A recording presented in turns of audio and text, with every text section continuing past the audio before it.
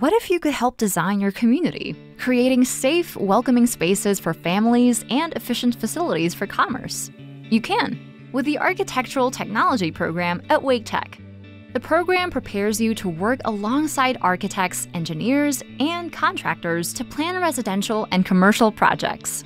You'll learn the principles of design, drafting and illustrating, building codes and standards, and the fundamentals of construction and engineering.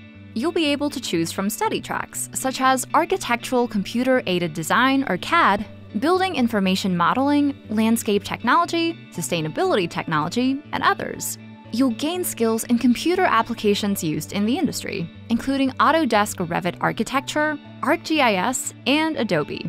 Besides technical skills, you'll learn how to operate in a professional environment with coursework that encourages critical thinking and independence. Start drawing up plans for your future. Discover the Architectural Technology program at Wake Tech.